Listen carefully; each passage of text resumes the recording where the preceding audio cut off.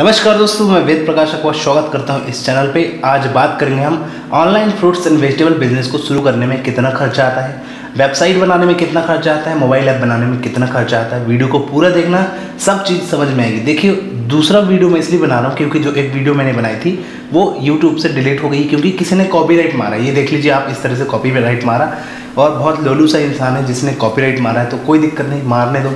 एक छोटी सी image use कर ली थी। कोई दिक्कत नहीं चलिए शुरू करते हैं। फिर से एक बार बताएँगे आ, वीडियो के बारे में कैसे आ, आपको बिज़नेस शुरू करने कितना खर्चा आएगा। तो देखिए सबसे पहले हम बात करते हैं बिज़नेस स्टार्ट करने की। बिज़नेस कैसे स्टार्ट करें?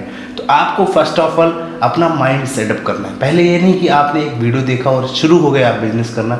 आपको एक माइंड सेटअप करना है कि आपको ऑनलाइन प्रोडक्ट सेल करना है। ऑनलाइन फ्रूट्स एंड वेजिटेबल बेचना है ग्रॉसरीज बेचनी है। अब फ्रूट्स एंड वेजिटेबल क्यों?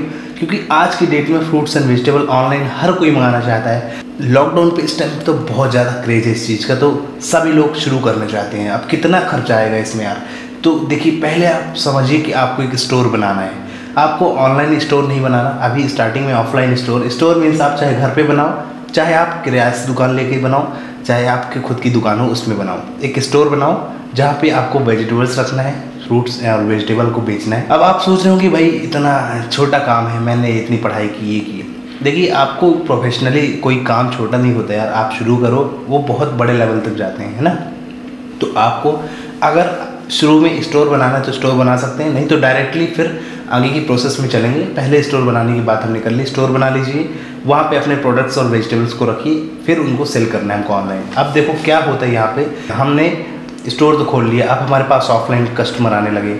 इसके बाद हमको उसे लेके जाना है ऑनलाइन है ना? जब कोई भी हम बिज़नेस खोलते हैं ना ऑनलाइन का तो उसमें सबसे ज़्यादा ज़रूरी चीज़ें होती हैं सॉफ्टवेयर की, जो अभी हम आगे बात करेंगे, कितने का सॉफ्टवेयर बनेगा, क्या कैसा चीज़ है। तो सॉफ्टवेयर बहुत ज़रूरी है जो उस बिज़नेस के लिए एक मिसाल का, कायम होता है। क्योंकि देखो सॉफ्टवेयर ही है जो आपको ऑनलाइन ऑर्डर ला के देगा और लोग आपको ऑर्डर करेंगे घर बैठे उस सॉफ्टवेयर के थ्रू तो सॉफ्टवेयर बहुत ज़रूरी है। अब सॉफ्टवेयर में क्या क्या? सॉफ्टवेयर में यहाँ पे होता है वेबसाइट हो गया मोबाइल ऐप हो गया और इसके अलावा आपका बिलिंग मशीन हो गया। बिलिंग मशीन आपको ज़रूरी होगी क्योंकि ऑफलाइन स्टोर में बिलिंग मशीन आपको लगेगी। तो वेबसाइट और मोबाइल ऐप जो होंगे, उसके थ्रू आपके ऑनलाइन ऑर्डर आएँगे। वेबसाइट किस तरह होती है, आपको अगर नहीं पता तो मैं बता दूँ। वेबसाइट यार W W W dot Google dot com Facebook dot com Yahoo dot com Big Basket dot com Grofers dot com ये सब वेबसाइट होती हैं। बिग बास्केट में जाके हम ऑनलाइन शॉपिंग करते हैं। अमेजोन डॉट कॉम ये वेबसाइट है शॉपिंग की वेबसाइट है। तो इसी तरह आपकी भी वेबसाइट हो जाएगी एक, अगर आप बनवाओगे तो। कितना खर्चा आएगा, मैं आगे बताऊँगा। ऐप की बात करें तो ऐप भी सेम इसी तरह होता है, जो प्ले स्टोर से हम डाउनलोड करते हैं। वो ऐप कहलाता है। जैसे बिग बास्केट या अमेजोन का ऐप हम डाउनलोड कर लें फेसबुक का ऐप डाउनलोड कर लें तो उसी तरह आपकी शॉप का एक ऐप होगा और उस ऐप से आप अपना काम करेंगे। तो ये हो गया ऐप का काम। अब कैसे आपको ऐप बनाना है वेबसाइट बनाना है? अगर आपकी कोई वेबसाइट अभी नहीं है या आपने बनवाना चाहते हैं तो हमारे दिए गए नंबर व्हाट्सअप पे हम व्हाट्सअप कर दीजिए। आपको ऐप का डेमो मिल जाएगा, ऐप बनवा सकते हैं हमारे थ्रू अगर आपके कोई टच में है, आपका कोई साथी फ्रेंड यार मित्र जो भी बनाता हो उससे आप बनवा सकते हैं, कोई इशू नहीं है। हमारे एंड पे कम से कम रेट में ऐप और वेबसाइट बना के दी जाती है है ना? बीस से तीस हज़ार रुपये लगभग तो आप इतने में अच्छा ऐप बना सकते हैं। फिर इसके बाद अगर बात करें और आगे की, कि भाई कितना उसमें और कॉस्टिंग आएगी तो लगभग बीस तीस हज़ार कॉस्टिंग आएगी इसमें, है ना? तो ये हो गया वेबसाइट और ऐप का। फिर फिर स्टोर का सेटअप करेंगे, स्टोर सेटअप करने में भी आपका कितना कॉस्ट आएगा, वो भी एक ज़रूरी चीज़ है। स्टोर में कितना लगाएँगे तो वो आपके ऊपर डिपेंड करता है भाई कितना भी पैसा इंटीरियर में खर्च करोगे कि आपको रैक्स बनवाने हैं वेजिटेबल रखने के लिए, कि आपको नीचे टाइल्स लगवानी है एसी लगवानी है तो वो आप पे डिपेंड करता है। तो शुरू में इतना खर्चा करने की ज़रूरत नहीं है। अगर पैसा है फंडिंग है तो कोई दिक्कत नहीं। खर्च करो, आराम से अच्छा स्टोर बनाओ, ताकि कस्टमर आपके पास आए और आपसे शॉपिंग खरीद के लेके जाए। तो स्टोर बनाएँ और वेबसाइट बनाएँ ऐप बनाएँ, इनका खर्चा हो गया मान लीजिए एक लाख का अगर स्टोर बनाएँगे स्टार्टिंग में प्लस वेबसाइट और ऐप का हो गया। अभी देखो, ज़रूरी नहीं है कि आप स्टोर बनाएँ, आप इसको घर से भी कर सकते हैं। स्टोर बनाना कंपलसरी नहीं है, मैं आपको ये बता दूँ। तो ये चीज़ आप ध्यान में देना। तो वेबसाइट का खर्चा हो गया, इसके बाद आपको डिलीवरीज डिलीवरी इक्विपमेंट लगेंगे। डिलीवरी इक्विपमेंट मीन्स क्या? जैसे डिलीवरी बास्केट हो गया, जो डिलीवरी बॉय की टी शर्ट हो गई डिलीवरी बॉय के यूनिफॉर्म हो गए। तो डिलीवरी इक्विपमेंट में बाइक भी आती है डिलीवरी बाइक आती है। बाइक आपको लेना पड़ेगा। अगर आपके पास बाइक है, एक दो बाइक तो कोई दिक्कत नहीं। एक बाइक है तो चलेगा शुरू में डिलीवरी करने के लिए। डिलीवरीज बढ़ जाए, काम बढ़ जाए, तब फिर हमको ये सब चीज़ें और बढ़ानी चाहिए। शुरुआती में इतना खर्चा हमें नहीं करना चाहिए हर जगह पे। शुरू शुरू में हम इतना खर्चा कहीं नहीं लगाते। तो आपके पास बाइक ऑलरेडी होगी। उससे आपको डिलीवरी करना है। डिलीवरी बॉय को रखना है। डिलीवरी बॉय की सैलरी पाँच छः हज़ार रुपये रख लीजिए। इंसेंटिव बेस में भी कर सकते हैं कि भाई आप इतनी डिलीवरी करना हम आपको इतनी सैलरी मिलेगी। या फिर एक फिक्स अमाउंट दे के भी रख सकते हैं एक डिलीवरी बॉय स्टार्टिंग में आप एक या दो डिलीवरी बॉय रख सकते हैं और बड़ी कंपनी है और खूब सारे इन्वेस्टमेंट करके बड़ा काम कर शुरू किया है तो और ज़्यादा डिलीवरी बॉय रख सकते हैं। वो आपके ऊपर डिपेंड करता है। कोई फिक्स नहीं है कि आप एक रखो, दो रखो। जितना आपके पास फंडिंग है, जितनी बड़ी कंपनी है, जितना बड़ा काम है, उसके हिसाब से आप एम्प्लॉय हायर करो।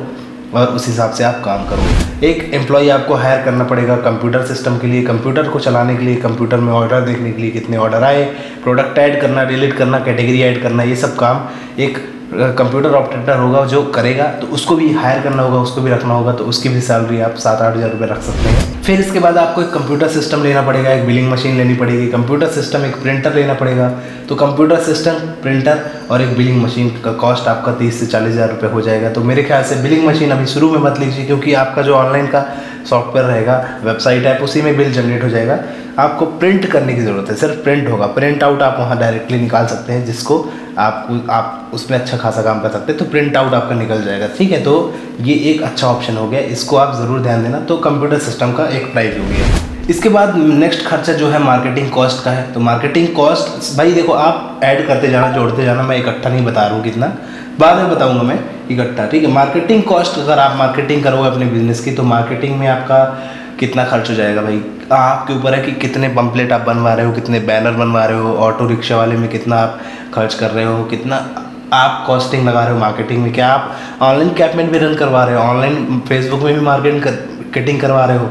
तो एक मोटा मोटा हिसाब पाँच से दस हज़ार रुपये मार्केटिंग कॉस्ट आप लगाएँगे स्टार्टिंग में तो चलेगा और बड़ा बिज़नेस है। दो, तीन, चार सिटी में चल रहा है। तो आप उसकी ऑनलाइन मार्केटिंग कीजिए ऑनलाइन आप कैंपेन रन कीजिए, ताकि आपके बिज़नेस के बारे में पता चले, लोगों को आपका बिज़नेस बढ़े ग्रो करे। देखो, जब एक कंपनी शुरू होती है ना तो शुरू में आपको फंडिंग देने कोई नहीं आता।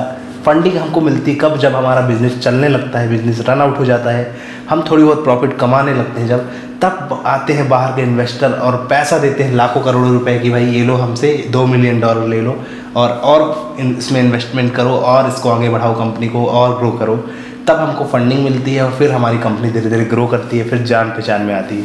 तो ये बहुत आगे की प्रोसेस है। पहले आप अपने बिज़नेस को प्रॉफिटेबल बनाओ, थोड़ा नाम कमाओ इसके बाद आपको फंडिंग मिल जाएगी। लेकिन आपको बहुत अप्रोच करना पड़ेगा, इतना ईजिली नहीं है सब चीज़ें, थोड़ा ध्यान देना पड़ेगा। तो ये सब खर्चे हैं जो जो मैंने बताया आपको कि भाई ऑनलाइन बिज़नेस शुरू करने में ये खर्चे आते हैं। डिलीवरी इक्विपमेंट आपको लेना पड़ेगा, है ना? और computer system billing machine website development website और मोबाइल ऐप का खर्चा, इसके बाद स्टोर का खर्चा और फिर सैलरीज जो आप दोगे उसका खर्चा। तो ये सब खर्चे आपको लगेंगे जब आप शुरू करोगे तो कम से कम आपके जेब में एक लाख रुपए तो होने चाहिए, कम से कम। आप अगर स्टोर नहीं बनाते, घर से ही काम शुरू करेंगे तो आपके पास एक लाख रुपए होने चाहिए कम से कम। और मान लीजिए अभी शुरू में सिर्फ़, आपको सिर्फ़ बेसिक लेवल पर जानना है, सीखना है, शुरू करना है तो एक छोटी सी वेबसाइट जो आठ से दस हज़ार रुपये में बन जाएगी हमारे यहाँ पे तो उसको बनवा के आप डायरेक्टली बिज़नेस शुरू कर सकते हैं। और आपके पास प्रोडक्ट रखने की ज़रूरत नहीं, आपको डिलीवरी बॉय रखने की ज़रूरत नहीं एम्प्लॉय रखने की ज़रूरत नहीं। एक छोटी सी वेबसाइट बनाओ, पाँच से दस हज़ार रुपये खर्चे में। आप मार्केट से प्रोडक्ट उठा कर डिलीवर करो, जैसी कोई ऑर्डर है आपके पास, उसकी मार्केटिंग खुद करो। मार्केटिंग में पम्पलेट वगैरह बनवा लो कम से कम रेट में। तो थोड़ी बहुत खर्चे में भी इसको शुरू किया जा सकता है। ज़रूरी नहीं कि बहुत पैसा लगाया जाए शुरू में, इसमें खूब सारा पैसा लगाया जाए, तभी शुरू होगा। ठीक है दोस्तों तो शुरू करो बिज़नेस कोई दिक्कत नहीं। जैसा आपने बताया, समझ में आया। कोई क्वेरी हो तो कमेंट बॉक्स में डाल दो, उसका आंसर आपको मिलेगा। चैनल को सब्सक्राइब कर लो बेल आइकन को प्रेस कर लो। ऐसे वीडियो आपको मिलते रहेंगे। तब तक के लिए जय हिंद, वंदे मातरम।